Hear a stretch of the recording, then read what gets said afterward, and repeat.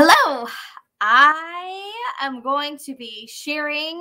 Oh, I just it looked like we were having some turbulence there because I kicked the desk. I'm going to be showing you today in this video. I'm going to show you how to uh, calculate monthly pay for a flight attendant position um, so that you can better compare different airlines. So the reason that I'm doing this video today is um, we're having a free study hall tomorrow. If you're not registered, please register. Um, even if you can't make it live, as long as you're registered, you'll get the replay. Uh, study hall is a coaching.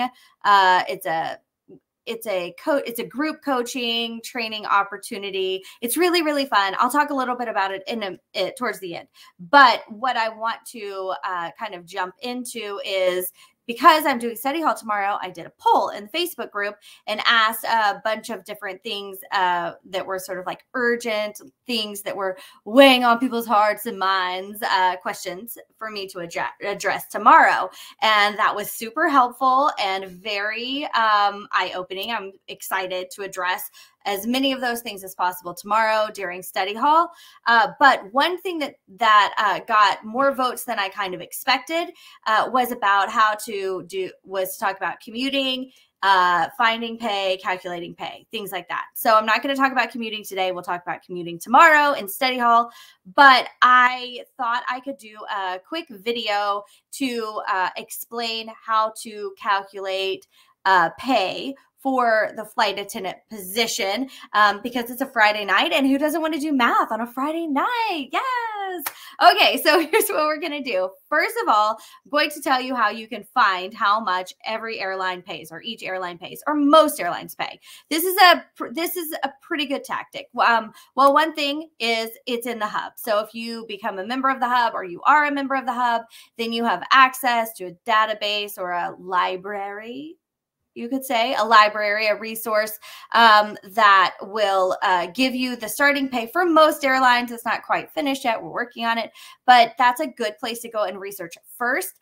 But otherwise, as well as um, you can use the internet to find starting pay. So there's a couple ways to do it when you apply with a job, when you apply with an airline, they probably have the starting pay rate, hourly rate in the job description. So you can make a note of that. Um, I I just am kind of in the habit of, and I think this would be a good habit for you. If you apply to a job, copy and paste the job description into an email and email it to yourself, or take a screenshot and email it to yourself with a subject line you know, Allegiant Airlines or United Airlines so that it's easy to find because I'm not a great uh, organizer when it comes to finding things. So I need lots of tricks like that. So if you email it to yourself or email the screenshot with a with a subject line or the word in there so that you can search through your emails and find uh, what you're looking for, that's one way to access the information. So if the airline is currently hiring, you could go to their website and see how much the hourly pay is.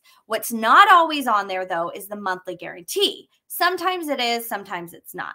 So, um, we'll talk about what monthly guarantee is in just a minute because the other place you can get this information on the internet, uh, besides the hub and the job description, would be in the airline's contract, which um, most airlines are unionized. SkyWest is not, but they have a sort of company union type. They have a group of people who sort of act as a union to, so they have a contract. Um, and then Delta's not unionized either, but most other airlines are their flight attendants are part of a union, which means they have a contract between the flight attendant group and um, the company. What that really means is they've just basically agreed on the rules. The rules of the game are this we both agree, let's play. Yes. And nobody can change the rules without um, the other side agreeing, basically, is what a contract is. So, what the contract is actually technically called is an is a you need to know this, so I'm going to say it clear so you can Google it. It's a collective bargaining agreement. CBA. It's a collective bargaining agreement. So if you go and you Google it up, United Airlines flight attendant collective bargaining agreement, then somewhere in the in the results will be a link to their contract. Um, airlines that have been around a while, like United or some of the other ones, there may be a couple different contracts. You want to make sure you're you're looking at the most recent one. The most recent one, though, may have already expired, um, which means uh, the contracts will they will decide contracts like we decide on the rules for five years and then we're going to get together we're going to talk again see if anything changed hopefully get a pay raise um, you know hello inflation let's get it let's get a pay raise and then the contract uh, you'll have a new contract when your contract expires, though, um, you continue, everyone continues to play by those rules until the new rules are agreed upon. So it doesn't actually expire and like dissolve, it just expires and it means it's time for us to look, relook look this over, come back to the table, negotiate again. So the contract may not be through 21, 2021, but just make sure you're not looking at like 1988 or something like that. Okay. So that's how you're going to find the information. Once you're in the contract, once you found the contract, the legal document that is just such lovely reading. Um, where you're going to find the information is compensation. Compensation is how much you get paid. You may see a chart, more than likely, you will. The first column in that chart will say DOS. That stands for date of signing. Okay. So the day that the contract is signed is the day that the flight attendants start making that amount of money. So it doesn't have a date on it like, you know, November 19th or whatever. Oh, that's my mom's birthday. That totally like slipped out.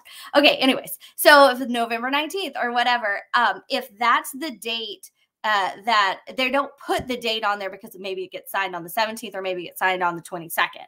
So they just do date of signing. DOS is what it will say, DOS. Then the next column will say DOS plus one or DOS plus one year. And that's date of signing plus one year. So contract gets signed in 2019. The day it's signed, you get that raise. One year later, say it's, let's just go with November 19th. Signed on November 19th. One year later, on November 19th, the entire pay scale pops up to the next column. And that's the starting pay, second year pay, third year pay, fourth year pay. So, really, you're getting a raise like twice a year. You're getting a raise on your date of hire because you'll go from working from a one year flight attendant to your second year of flying. Some will give a raise at six months too, but in general, you'll get a raise every year until you get to the very top of the chart, and you'll get a raise on that date of signing plus one. So uh, if you get hired in October, then on October, you'll have your anniversary and you'll get your anniversary raise. And then in November, everyone gets a contract raise. Okay. So you'll want to count. You'll have to look at the front or maybe the first couple pages. Um, sometimes it's after the table of contents. The information is in near the front of the contract where they signed it, the date they signed it. So you'll have to look at the year that they signed it, 2016. Then you'll have to count 16, 17, 18, 19, 20, 21. Okay, 2021, that's five years. So date of signing plus five. Or if there's only like date of signing plus Three is the last line, then that's where we are. Okay. So hopefully that makes sense. And you're going to look at the first year or starting pay, date of signing, date of signing plus one. Okay. So that's how you get, that's how you get how much they are currently paying pay rate. Okay. First step, second step, third. I don't know what step we're on because we've done Googled, we found a contract, we've done Reddit. Okay. So I don't know what step we're on. But the next step is now the next piece of information that you need is for a reserve flight attendant, because you will be starting on reserve, you need to know how much um, the minimum, the minimum guarantee, minimum monthly guarantee that a flight attendant on reserve can be paid, the hourly guarantee. Here's what that means. When you are on reserve, when you start, you will be awarded a line or a schedule. We use the word line instead of schedule. You'll be awarded a schedule that has all reserve days on it, days off, and reserve days. Reserve days are days you're on call. The days that you're on call or on reserve, you may get a trip. Yay, hopefully. Hello, Paris, first class international. Or you may just sit at home.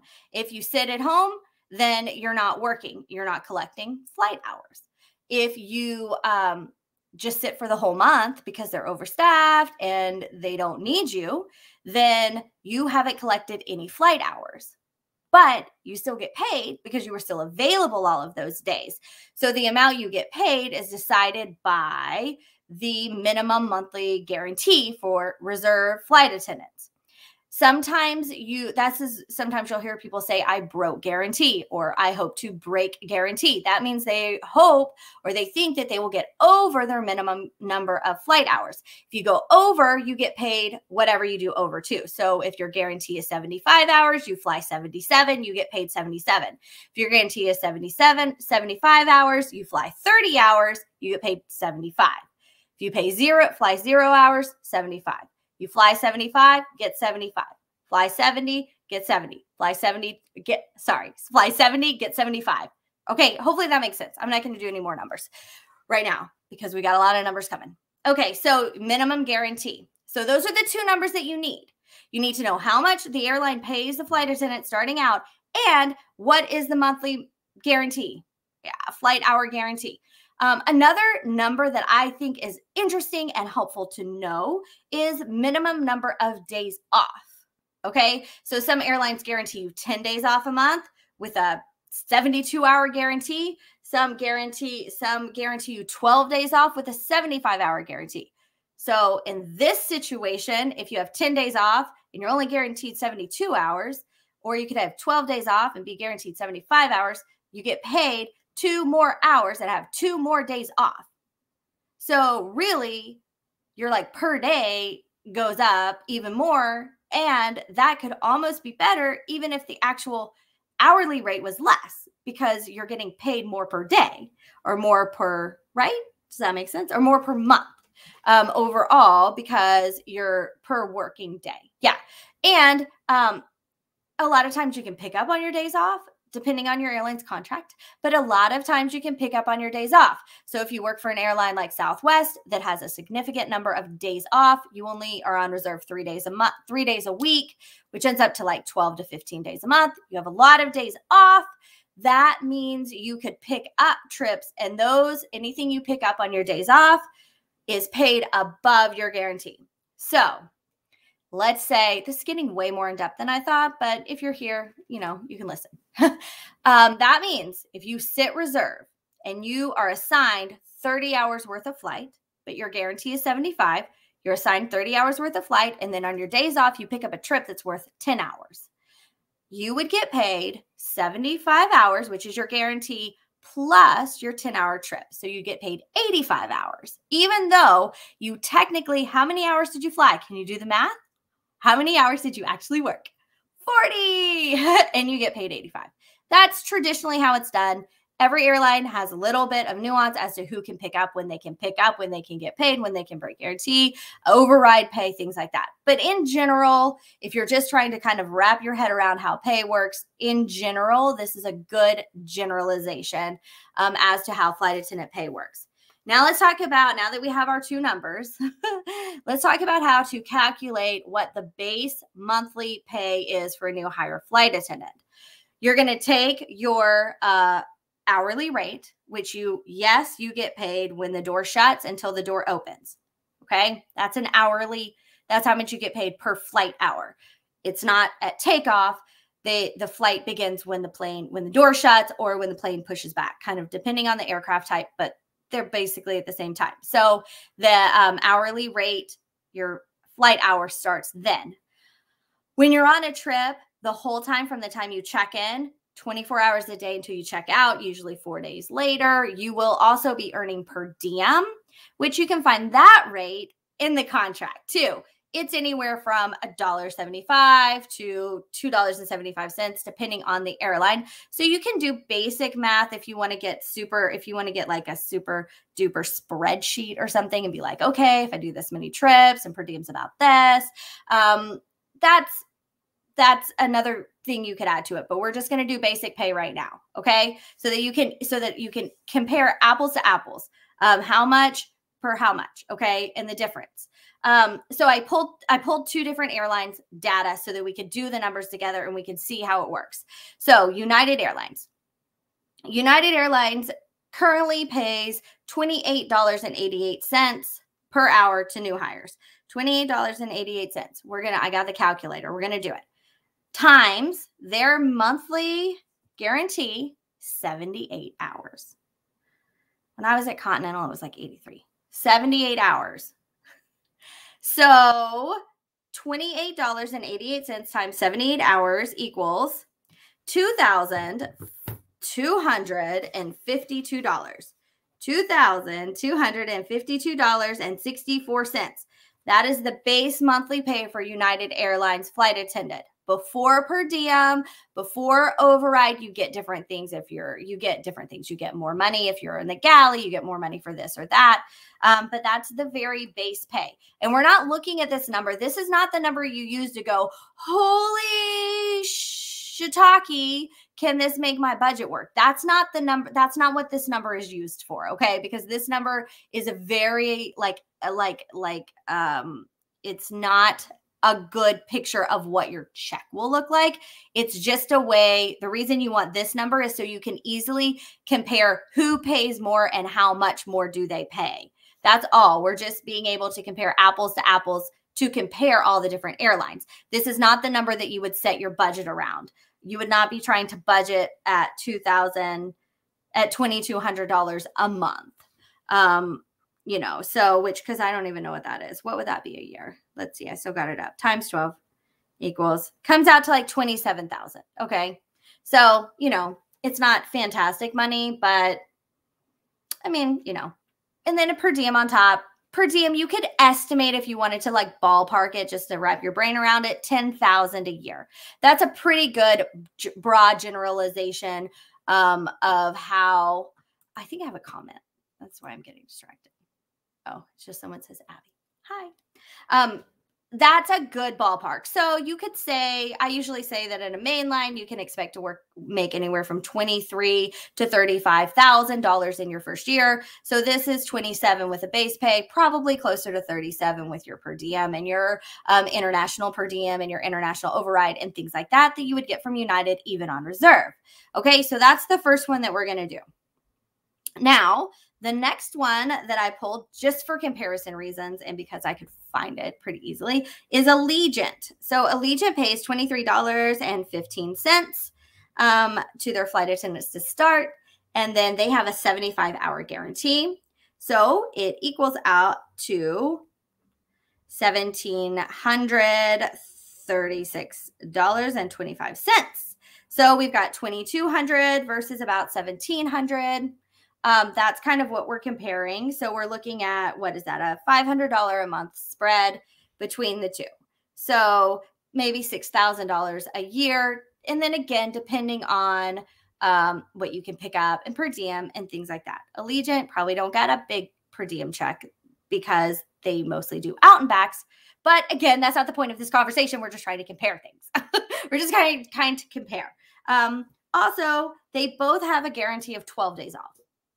So the days off are pretty comparable.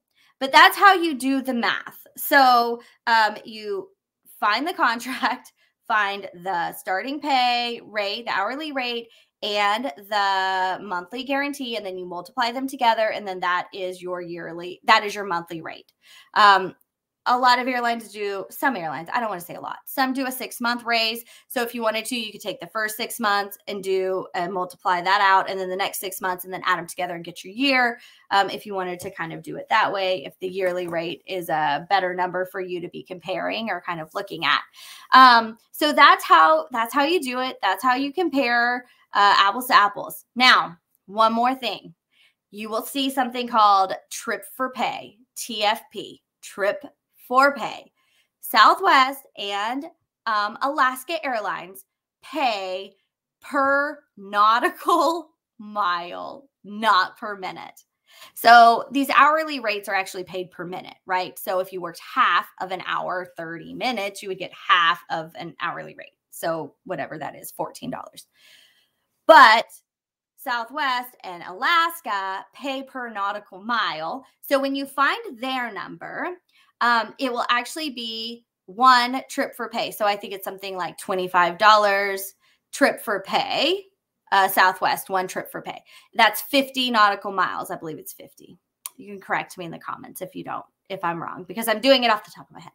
Um, so there is an equation. I'll have the equation tomorrow in study hall. I didn't think to grab it today. I'll grab the equation so I can share it tomorrow in study hall so that you have it. But what you first have to do for these two airlines, there's an extra step.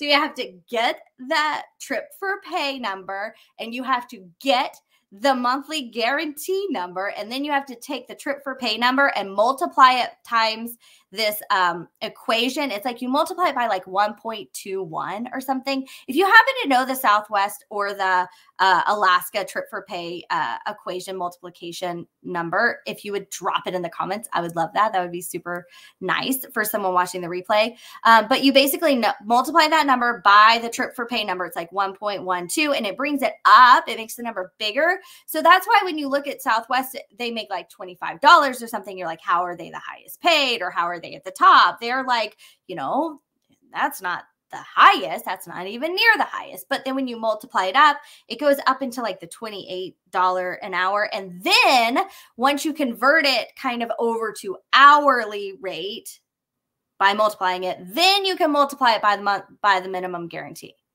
I believe that all of that is true. If that's not how you do it, I think that's how you do it. That's how I've been doing it.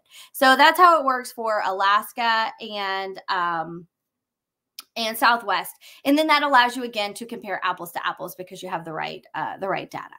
Um, all right, so study halls tomorrow. It's at 11 o'clock Central, which is my time zone. At 12 noon Eastern. Um, and then that would make it at 9 a.m. Pacific. Um, you can Google if I didn't say you're and you can't figure out the time zone changes. Uh, you can use the Googles. I love the Googles to find the answers to these things. Uh, if you need the time zone, you do need to register. The registration link is in the description of this video. I would love to see you there. Um, I'm really, really excited. We're going to be talking more about commuting, more about pay, and also the big winner of the poll was a face to face interview uh, tips, tricks, techniques, guidance, training. And then a close second was how to feel confident and not freeze up completely when I start to answer my interview questions. so we'll be talking about that too. Also during study hall, we always um, we do uh, talk time where I'll be teaching. Uh, we do uh, open it for Q and A, open the floor for the Q and A, which is really fun and kind of unusual. We don't usually get there's not any uh, many other places where you can do just open Q and A with me in real time besides study hall.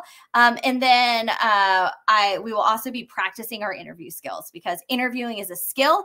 The more you practice it, the better you get. If you think you're awesome at interviewing, good. Come and practice and get better. If you think that you are horrible at interviewing, that's okay because you can practice and you can get better. And so come tomorrow and practice and get better. Um, all right. I can't wait to see um, y'all tomorrow. Thank you for spending a little bit of time with me. I hope this was helpful. Uh, if you have any other questions, you can pop them in the comments.